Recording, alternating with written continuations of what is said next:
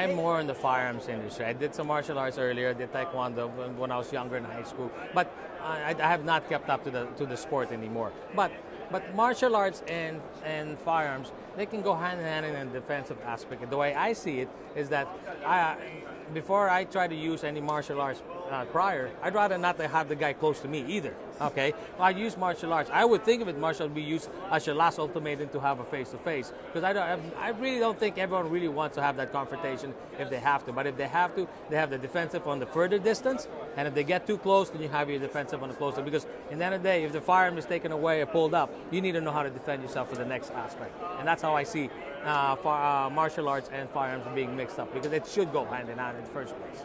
I think it is embedded in the Filipino culture um, because, you know, we love guns and we love martial arts because, I mean, like Kaloy, I did the same thing too. When I was a lot younger, I did Taekwondo for almost 10 years and then I got into shooting.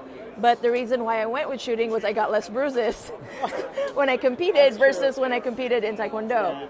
But for the most part, um, like for me, you know, speaking as female and as somebody that's not, you know, six feet tall, 200 pounds, whatever, firearms definitely is like the equalizer. So I mean, there's no way I can wrestle some big dude and win unless I'm like super awesome at that. But at least with a gun, it kind of evens the field on when I'm protecting myself. But at the same time, too, in the Filipino culture.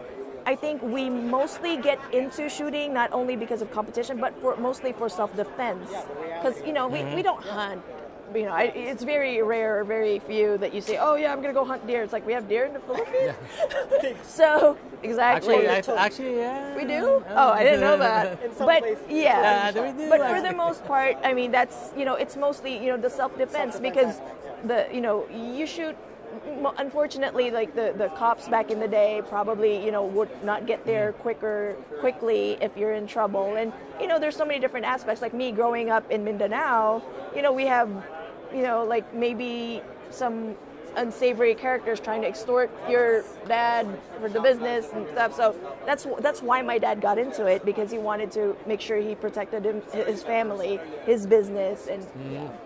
And not only that, like um, the philosophy. So I'm a Filipino martial artist, mm-hmm. um, not just a Filipino doing martial arts, but I do practice eskrima. And the, the philosophy it is you start with weapons first, right? Because it's gonna give you that advantage mm-hmm. to have correct survival um, rate go up, right? So, right. just like you said, mm-hmm. why would you have to wrestle when you're wrestling a big guy right. when you have a firearm? Exactly. Shoot, right. Right. So, definitely ties into Filipino culture. Yes. Hey everyone, this is Mark Guillermo 413 Media Group in collaboration. Mr. Jason Knight, thank you, sir, for being hey. here.